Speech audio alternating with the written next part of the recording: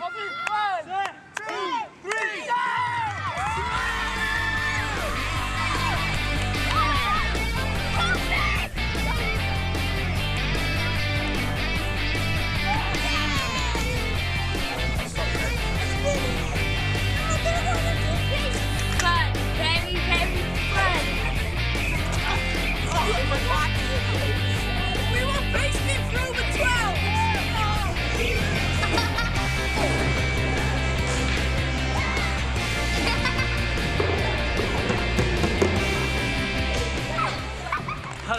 I'm Lewis, and I was the site supervisor of Abersachen for three years, but now I'm area.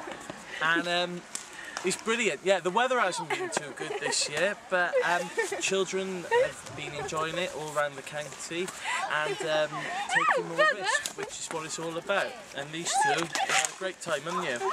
Yeah, brilliant.